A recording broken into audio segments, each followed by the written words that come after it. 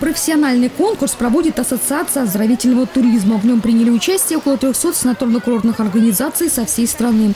Впервые сочинский санаторий Заполярье был отмечен такой престижной премией. Основные критерии, по которым происходил отбор, в большей степени экономические. Объем э, значит, инвестиций, которые были вложены в это предприятие. Второй критерий – это заработная плата, которую э, предприятие платит своим сотрудникам. Ну и третье – это, конечно, загрузка. Вот за, э, санаторий Заполярье показал среднегодовую загрузку за прошлый год 92%.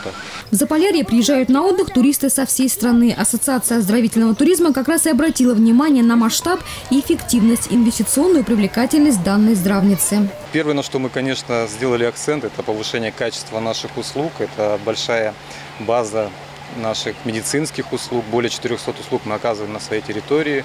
Плюс мы сделали акцент на оздоровительном туризме и на семейном отдыхе. А россиянам, конечно, уже не хочется приезжать к морю просто на отдых. Каждый мечтает еще и воспользоваться суперсовременными методиками лечения. Будь то вакуумно-роликовый массаж или зал кинезиотерапии или голограмма. Все это сейчас доступно во многих сочинских санаториях. Елена Овсецина, Алексей Давыдов, телекомпания «ФКТ».